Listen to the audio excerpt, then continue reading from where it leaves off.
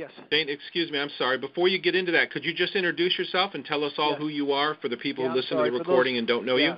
you? Yeah, my a, a little bit of a bio here. I'm sorry. Uh, I'm with the website geoengineeringwatch.org. Uh, Michael Murphy and myself. There's a few of us that are part of that site. I have a background with Bechtel Power Corporation in renewable energy. Worked on one of the first solar commercial solar plants in the continental U.S. Um, my home was on the world's largest renewable energy magazine. That's how I got onto this issue. Uh, I'd been told about it, but it was frankly very skeptical. And when I moved to Northern California, expecting clean air, uh, with with a very large, completely off-grid home, uh, and and started to lose on some days 50, 60, 70, even 80 percent of my solar uptake from these intermittent grid patterns. Clearly, something was wrong. Something was going on in the sky. Quickly came on the subject of geoengineering, and my life has been on hold ever since. Uh, over a decade. Prior to this, I I, uh, my area of, of study and research was um, climate change and the atmosphere, and that, of course, tailed right into this. And uh, so this is uh, the, the majority of what I've done for the last 10 years. Not a battle I wanted in any sense, but one I just simply felt uh, if it was not stopped, nothing else would matter. I feel that more than ever today. And if, if on the temperature anomalies we see, um, I'm sure everybody's seen these wild swings in temperature, and it's it's very apparent now they are doing massive manipulation with the jet stream in conjunction with the aerosols. And uh, my conclusion on that, and we can go into Q and A here in a minute because I, I like that best anyway. But um, I believe that the planet is in full-blown meltdown. I'm not an Al Gore fan. I'm not a carbon credit fan, but that does not change the reality on the ground. Geoengineering is appears to be, from my research, the largest single causal factor. We've been not very kind to the planet. I don't think anybody can argue that one, but but geoengineering is by far the largest wrench in the works that appears to have triggered climate feedback loops. One of those feedback loops is methane expulsion, which appears to be um, completely released or, triggered at this point, and um, that in conjunction with the shredded ozone layer is certainly a result of geoengineering. Uh, we are in uncharted territory, and that the methane expulsion is not a century-long event. It's not a decade-long event. It happens over the course of a few years, and it, it, it, all available data indicates it's happening now. And this is a global game-changing event. And the paradox is, uh, again, geoengineering appears to be one of the largest single causal factors, the largest causal factor, because geoengineering alters wind patterns along with HAARP, which then alters ocean currents. Now we have ocean currents that used to turn south from the Atlantic before they went into the Arctic. Now they go straight into the Arctic. That's part of the reason the methane hydrates have thawed. Shredded ozone, another reason they've thawed. And so as the methane releases, uh, many people might have heard that methane is 20 times more potent than CO2 as a greenhouse gas. But in fact, that's over a 100 year time horizon. Over a 10 year time horizon, it's over 100 times more potent. So uh, the magnitude of this cannot be overstated. And the reservoir that's releasing in the East Siberian shelf of the Arctic is massive. And it, it, it has the potential to extinguish life on Earth, that reservoir alone. So, um, again, the paradox is the, the more they spray, the more they apparently feel they have to spray in order to cover up the damage they've already done. It's it's painting us straight into a corner, but it's all they know how to do. It's all they're they're geared to do. It's it's what their uh, money making bonanza is. So um, anyway, I I feel at this point, and I'll go into Q and A here in a second, that that we are really at the apex here, and the temperatures are changing radically. There's temperatures in some places in the Arctic right in, in the last uh, 30, 45 days that have been 50 degrees above normal. And there's huge swings. There's other areas that have been below normal, like Alaska. But it just depends on where they're ice nucleating, which, if anybody doesn't know what that is, it, it appears that almost every precipitation event now is being ice nucleated. That's chemical nucleation. It's a chemical process by which snow can be created at uh, according to the patents we have, of up to 50 degrees. We see the same thing happening on the ground. Shouldn't be snowing at those temperatures, obviously, but as this nucleation process continues, it appears to cool the air mass below it temporarily. And in Northern California, we had temperatures as low as 20 degrees below uh, some two, two, three weeks back, uh, not far from where I live. and now we're uh, up pushing 80 degrees. And uh, same thing, Atlanta, a little over a week ago, Atlanta, Georgia was 85 degrees. Uh, it snowed three days later. People should really question this, obviously. And uh, the nucleation process appears to be their last card. We don't know what's in these chemicals. We're seeing very anomalous snow that stays frozen, and um, ponds that are packed with this stuff that stay frozen long after freezing temperatures are gone. The chemical nucleation process appears to continue on, actually gassing some of the water out of those ponds. They're doing over Siberia right now is completely buried in snow. Um, the radar, we can see them ice nucleating. You can see what was a rain cell that flashes out the snow as it's it's got this material dumped on it. So anyway, um, I'll go to Q and A, but I, I believe right now that what they have triggered is so cataclysmic, and, and paleo data backs this up, paleoclimatic climatic data, um, that they now are in total desperation trying to cover up what they've helped to cause. And now the stakes are as high as they could be. And even to, to put this in perspective, the Arctic Methane Emergency Group, AMEG is the acronym, a lot of geoscientists there. Uh, Ken Caldeira is one, if anybody's familiar with his name. But their latest proposals to stop this methane are to use the ionosphere heaters, which are the HAARP facilities around the globe, and try to use opposing frequencies to nuke the atmosphere in, in a desperate and, and completely destructive attempt to degrade the methane before it completely saturates the atmosphere. So this is total desperation mode, and I, I think that we're all in for quite a ride from here. But I, my belief from all my research is that if, if they don't stop geoengineering, if they don't allow the planet to respond, if they don't allow the hydrological cycle to resume, quit poisoning the boreal forests, quit shredding the ozone layer, if they don't allow the planet to respond on its own, I believe our our future looks bleak indeed. Dane, it was just a couple months ago I first heard about the methane issue. I'd never heard that before. And uh, could you explain how that works to people who've never heard about that? I think a lot of people have not even heard about that before. Methane, I mean, how does how are they? How is the spraying actually facilitating the methane release in a positive feedback cycle? Uh, again, you know, there, uh, I, I I can't in, in good conscience hang it completely around the neck of geoengineering. I mean, we certainly have done great harm to our planet. But that being said, it does appear that geoengineering is the single greatest causal factor. Again, there are certain issues that are crystal clear scientifically. The geoengineering particulates shred ozone period. There is absolutely no debate scientifically about that fact. We have massive northern and southern hemisphere ozone holes. Really, all available data points toward geoengineering being the cause, not CFCs, not chlorofluorocarbons, but uh, geoengineering as they've been at this for about six decades, and that's about the time the ozone holes, really, uh, southern hemisphere started to develop, northern hemisphere shortly after, and um, so you have more of the sun's thermal energy penetrating the atmosphere now. You have, although they can create, and they do, with between HAARP maneuvering the jet stream and the ice nucleated particulates and the simple blocking of the sun, they can and do create massive cooling events over huge areas.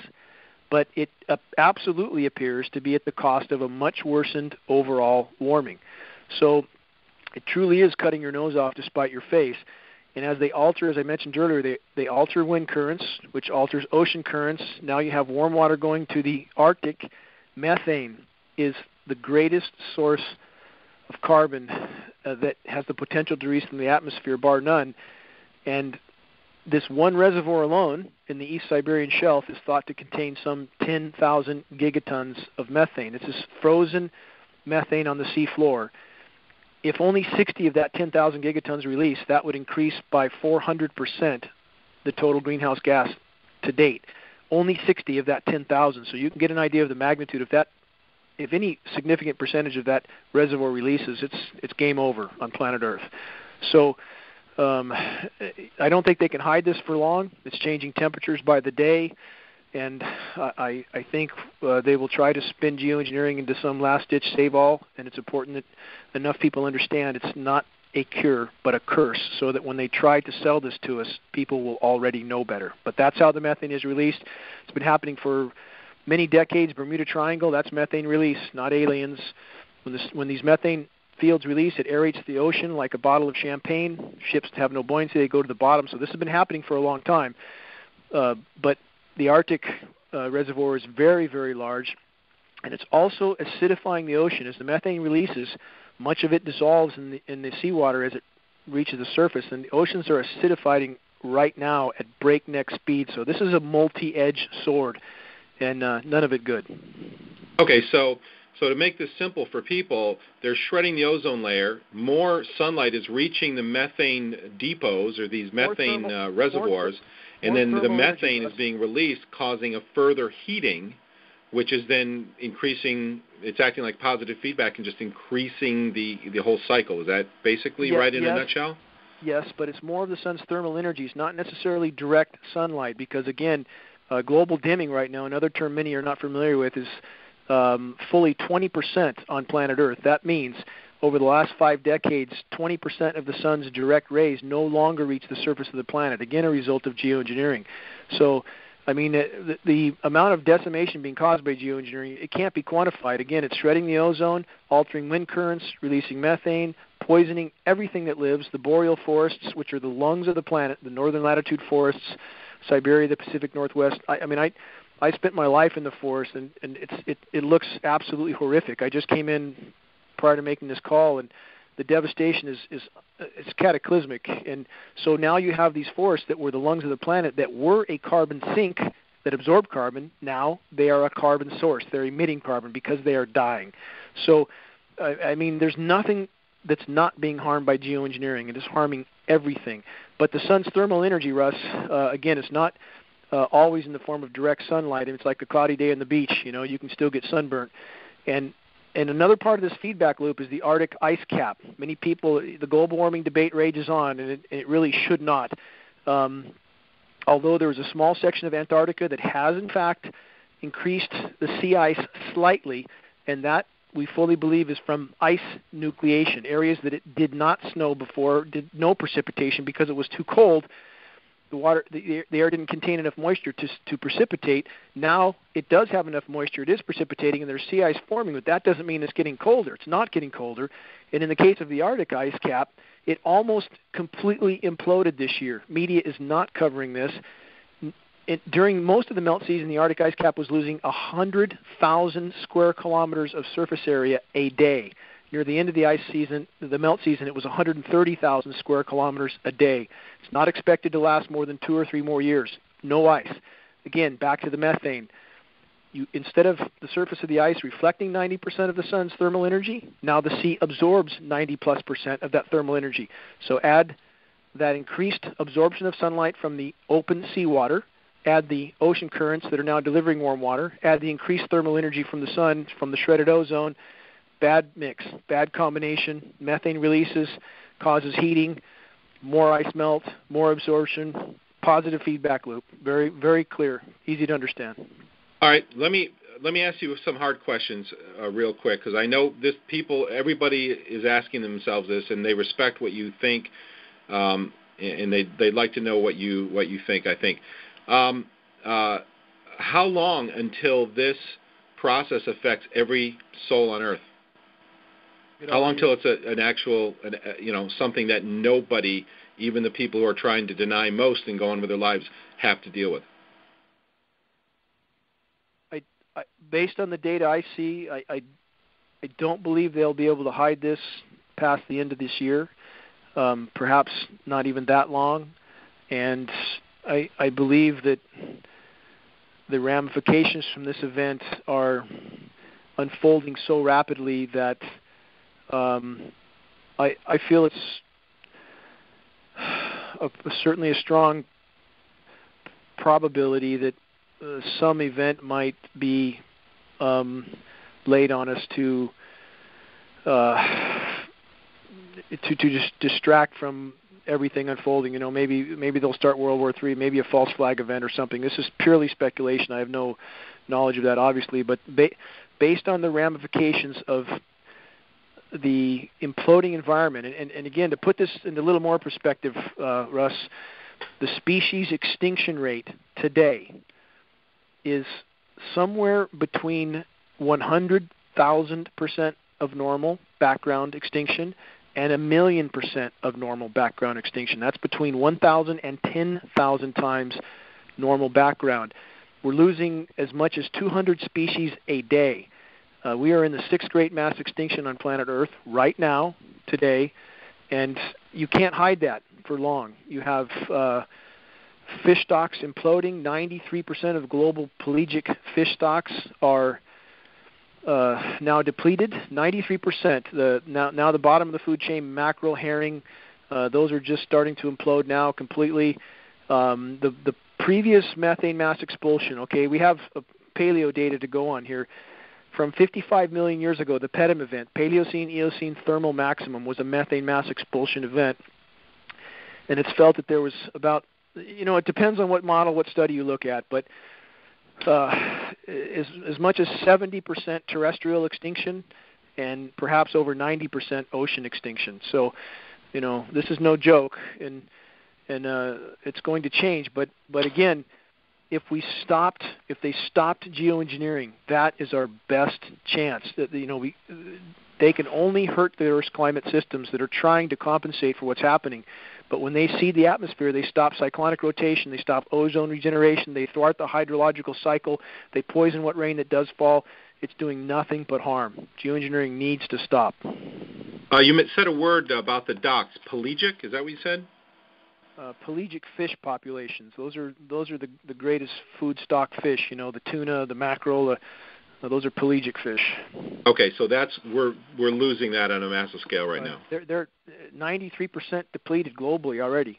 93%. I mean, they're the only reason they catch anything is because their fishing methods are so incredibly sophisticated. But you have the ocean acidifying at the same time, um, in addition to Fukushima radiation and you know a thousand other things. But um, ocean acidification is is um, happening per, perhaps uh, a thousand times faster than the PETM event I just mentioned 55 million years ago. So we are on a, a jet engine ride to a, a whole new reality. And and again, I, I I know my message is very dire. My conclusions are very dire, but um, first it has to matter to us to to uh, try to raise awareness on this for every single individual we reach. That has to matter in and of itself. That that makes the effort matter and two, um, it, no one can say how this will unfold. No one. And and again, our best best bet by far is for the planet to be allowed to respond, for people to understand what's happening, and not for these uh, completely clinically insane people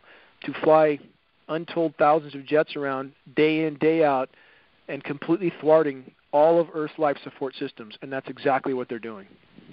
Yeah, I have to say that I agree with your. I know there was just speculation about probably they may have a distraction uh, or false flag or something that will distract everybody. That's that's putting all the pieces together. I have to agree with that speculation that that's probably what they're going to do. Now, so by doing chemtrails, by by doing this so-called geoengineering, it sounds like they're they're obviously making the problem worse. Can't help but to believe they know exactly what they're doing. What do you think? They know they're making it worse, but maybe there's some reason behind it, well, or, or any no, any I, thoughts I on that? I, I think there could be a couple angles. I mean, I think that uh, in one on one hand they know it's going to collapse, period, and so they don't care. Um, and I always have to bring up the issue of 1,800 plus nuclear detonations on planet Earth. I mean, what what sane uh, group of people would do that. I mean, exposing themselves absolutely positively, to strontium 90 in all of our bones. You know, everything was contaminated from those 1,800 detonations blowing up beautiful South Sea islands. Why would anybody do that? I mean, eh, you know, there's no sanity in this equation, certainly. But I, I believe in having spoken to Ken Caldeira and, and uh, having uh, spoken to David Keith uh, at the Geoengineering Conference in in San Diego that, um, from my perspective, um, I, I don't think there's a lot of uh, rational thinking in this equation. Not at all. They live in bubbles where they, they you know, the, the, the consequences of their actions don't appear um, to be relevant to them. And so we're, we're dealing with, um, in my opinion, uh, a complete lack of deductive reasoning here with no comprehension as to the consequences of their actions. So, it's hard to say, Russ, but I but I believe also that the vast majority of people involved in these programs, the vast vast majority, have no idea what they're doing.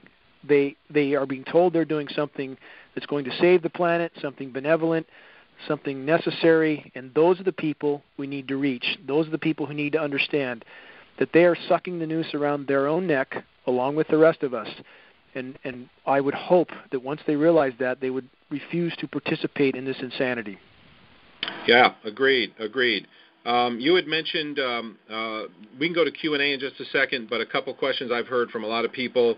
Um, we keep seeing this pattern of um, there's everything is dying. I had uh, four different vegetables die off during two weeks of intense spraying um, uh, this summer.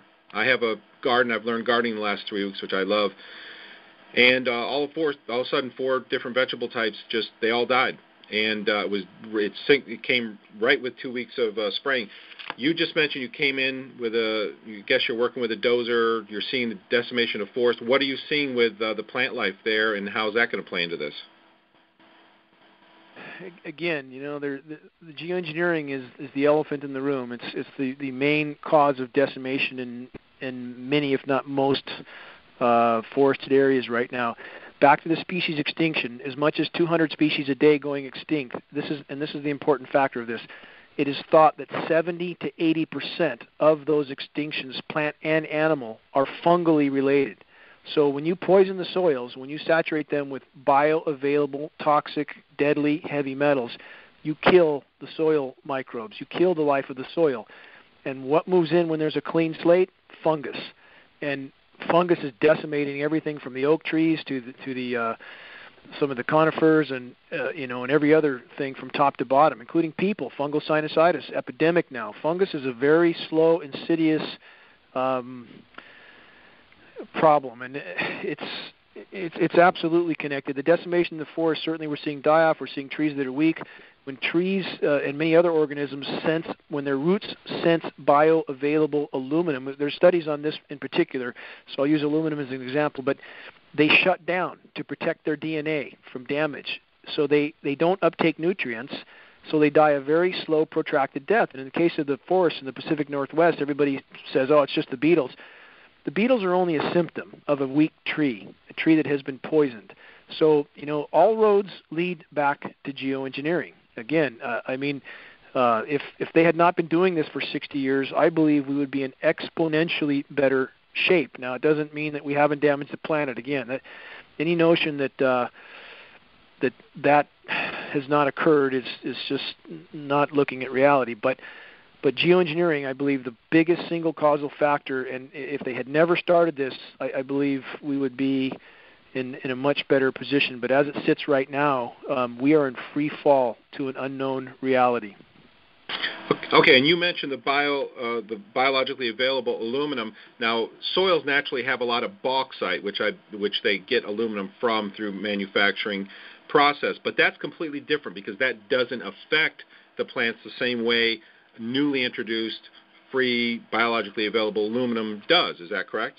That's completely correct because it, this comes up so many times from these these geoengineering disinformation sites and people and and um, that aluminum is eight percent of the Earth's crust, and it is, but aluminum does not exist in the environment in free form. Period. Always bonded to other elements, not bioavailable. It certainly doesn't blow around in the wind as they have tried to claim. You know, when I when I first dove into my research here, I, I talked to a uh, hydrogeologist, one of the first people I talked to, and he was aghast at the the aluminum reading I had in my rain and said, you know, you shouldn't have anything, you know, even one part per billion in your rain unless you live next to an Alcoa factory. Those his words exactly. My first test in the rain was seven parts per billion of aluminum, already very high considering where I live. Subsequent tests over the next six years rose as much as almost 50,000 percent from that already high reading to 3,450 parts per billion in a single rain event. I mean, this is highly toxic rain. Snow, where this aluminum accumulated off the side of Mount Shasta, has been measured as high as 61,000 parts per billion. Uh, and nobody's talking, and people know, Russ. I mean, I, I've talked to NOAA scientists six months ago off the record. They they absolutely know. I I just had another meeting with the environmental waste in Northern California. They have you know tests from the Sacramento River that are spiking in aluminum, but they're afraid to say anything. And it's like, you know, everybody's worried about their eight to five job while we're all sinking at breakneck speed uh, into total extinction, literally. So I hope if we can reach critical mass, and academia knows. I mean, I, I don't think there's a meteorologist out there that doesn't know this is going on, or or a biologist that's involved with any type of forestry issue. And if we could just break the dam, I think it would break from a hundred different directions. Okay, can you hear me now? Yep, gotcha. Sorry about that. Go ahead.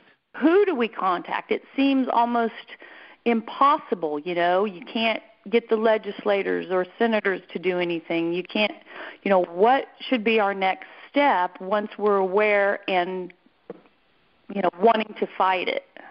Extremely important question. And uh, I would say this legislatively, we will never get anywhere. The system's bought, sold, paid for. They've been setting it up for this for many decades. Um, I think they truly believe they could carry this on in, indefinitely.